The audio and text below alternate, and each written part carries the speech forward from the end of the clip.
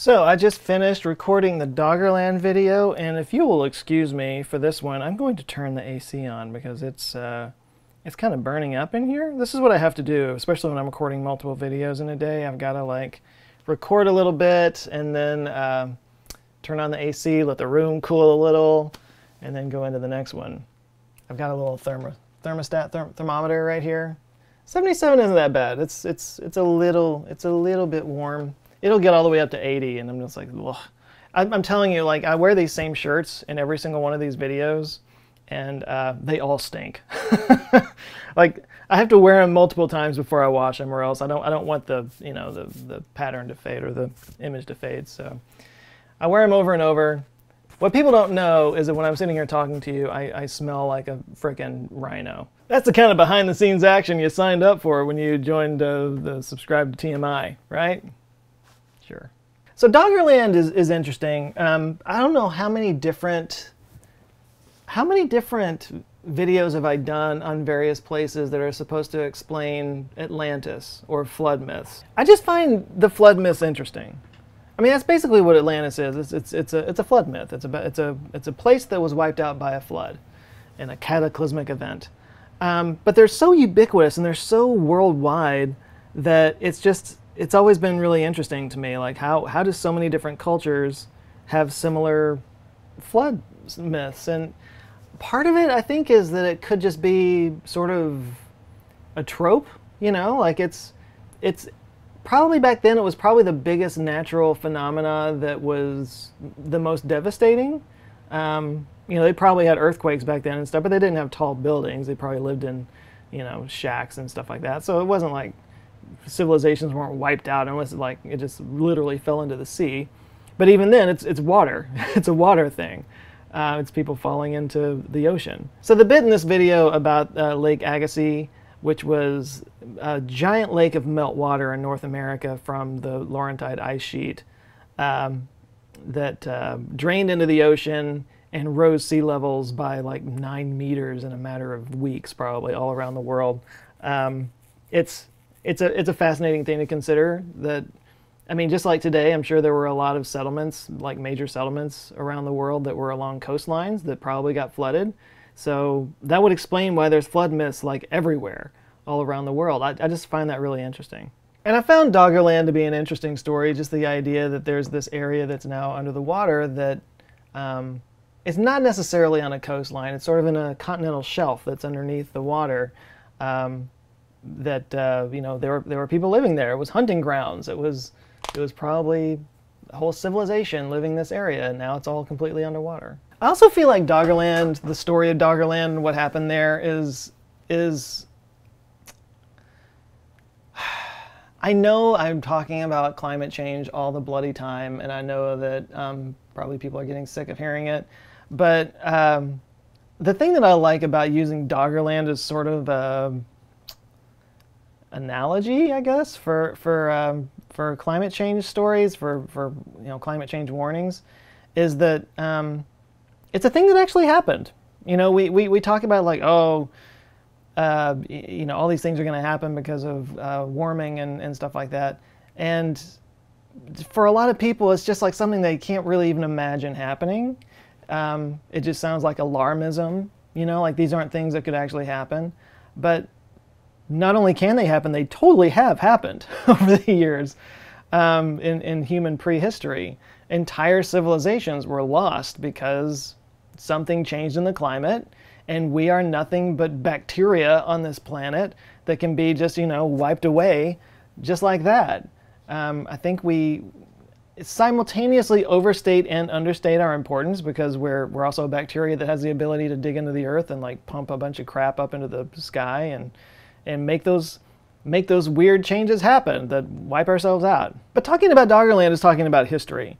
And it's not like climate alarmism. It's just talking about history, things that did actually happen. Something I actually didn't um, didn't talk about was um, when I talked about the Lake Agassiz draining into the ocean. Um, something that that did was they think, if I if I understand correctly, and I might be wrong here, but I, I think that they they considered that to be what caused the Younger Dryas, which was this rapid cooling period. Um, and it was because of something that I talked about before, which is the Atlantic Meridional Overturning Current, the AMOC, the, the Gulf Stream. Um, that whole thermohaline, thermohaline current around the North Atlantic. Uh, that if all this, like literally a, a Black Sea worth of fresh water just drained into the Atlantic Ocean, then you have cooler and less salty water flowing in there and disrupting that current.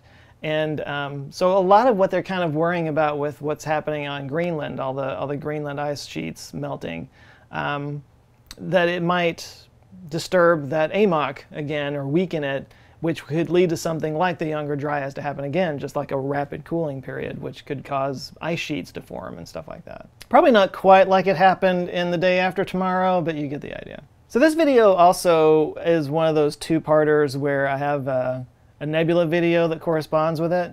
Um, it's a it's a bit of a stretch for this one. Um, it, it, it, originally was going to be um, so I, I feel like I just keep talking about it nonstop. But I took this great trip to Ireland earlier this year.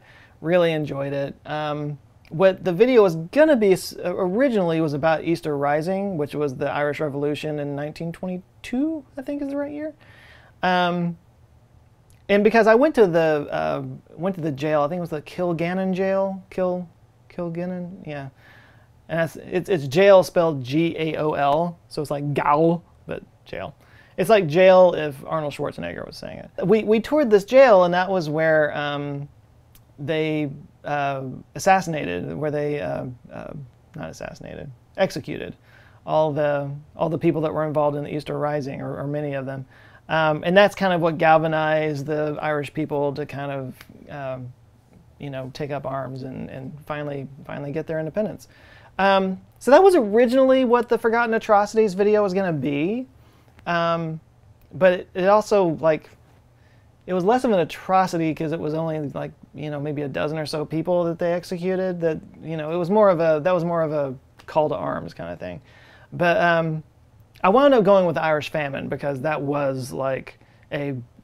I mean, I just the, the most recent one was on the Holodomor, Holodomor, yeah, in Ukraine, um, and it was the same kind of deal. It was it was it was exacerbated by a drought, uh, an Irish potato drought or blight, and uh, but it was like the policies of the British that were ruling over Ireland at the time that exacerbated it and made it. Uh, um, the famine that it was. And it's just like horrifying stories of, of people dying in the streets and, and that kind of thing. So, yeah, I was trying to find a video topic that would sort of kind of correspond with that part of the world anyway. so I found Doggerland just because I thought it was a fascinating story. And uh, um, I try at the end to sort of tie it together with the Irish famine. I don't think I do a good job of it, but uh, you know it, it, didn't connect quite as well as like the Ukraine and Holodomor videos and whatnot. Um, but you know, I did my best. I do have a video in mind for this channel, uh, probably in early October, early to mid-October. That's going to be a little bit more extensive than a normal TMI video, where I talk about this this shorts experiment that I've been doing on the main channel. Um, for those of you who've been following the main channel, you've been seeing a short every day on the main channel that are just kind of like clips from older videos. And um, I learned a lot doing this. It's been enlightening. Um, I will say right away a little bit of a tease. This experiment did not produce the kind of results that one would hope to receive. uh, but I also don't think I was quite doing shorts right. Anyway, there, there's a lot to go into. I'm going to kind of like go through and, and, discuss like what I got out of it, what I learned, um, and uh, what the results were. They haven't been good. so anyway, I'll uh, I'm just gonna leave it at that. Maybe this was a little bit interesting, give you a little bit of background for what I was thinking with this video. I got to move on and shoot some other stuff. So there you go. Uh, hope you guys doing well. Catch you next time. Bye.